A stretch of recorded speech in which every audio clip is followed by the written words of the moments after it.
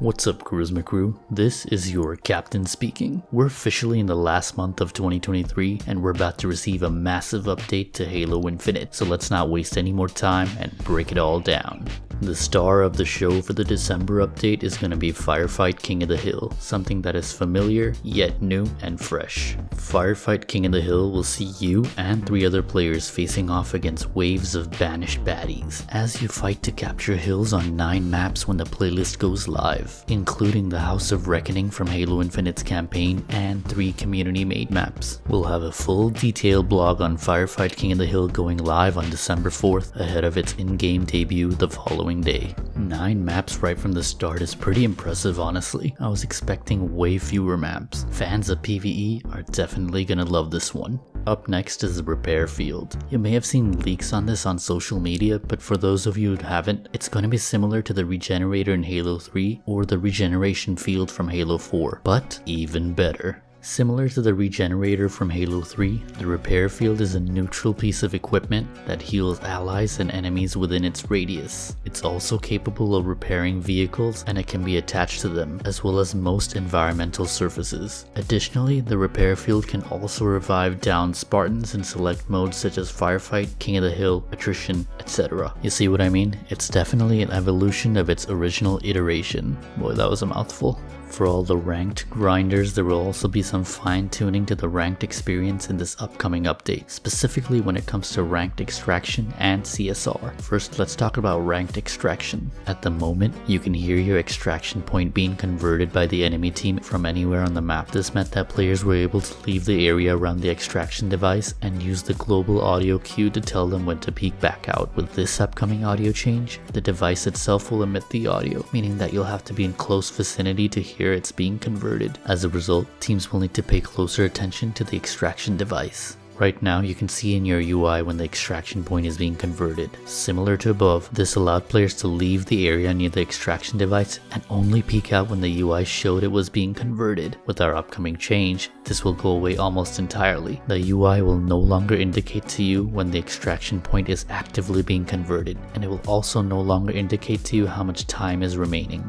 Man, this will certainly increase the skill gap. I'm also personally glad that this wasn't tampered with in socials. Anyways, next let's look at how CSR is being improved upon.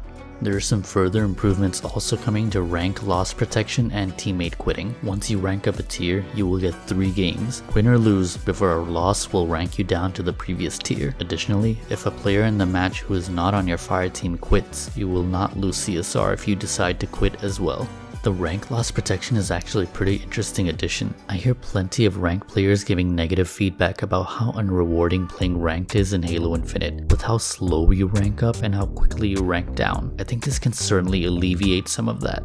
Let's turn our attention to Forge now. Forge continues to breathe new life into the game now with forgeable AI. There's quite a bit to unpack here, and quite frankly most of it goes over my head, but there are two major updates that you should know about. The first is bosses and high value targets from the campaign being added into Forge.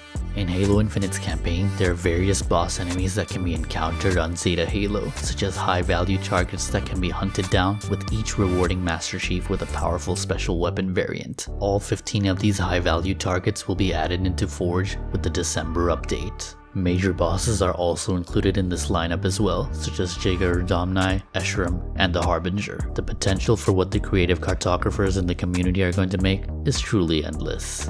The second major update to Forge is the addition of skulls.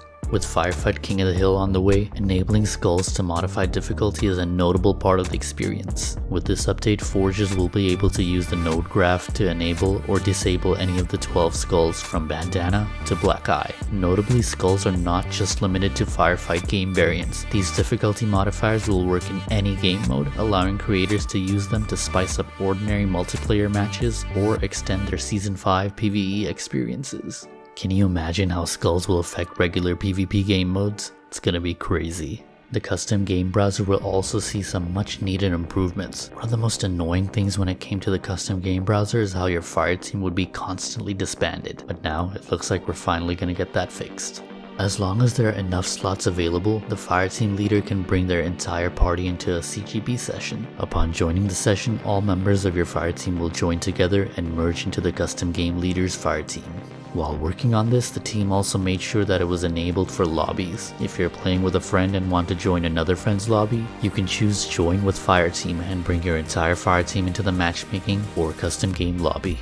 And then, the first major step towards what we've all been waiting for since launch stability and networking updates. Along with all the additions and quality of life updates above, this update is also focused on increasing the game's stability by addressing crashes and improving our online experience via updates to our networking. Season 5 added more reporting information in the game, which helps us better detect when and why crashes happen. Using this data, the team has knocked out multiple crashes across PC and consoles, including the top crash on Xbox Series X and Series S devices.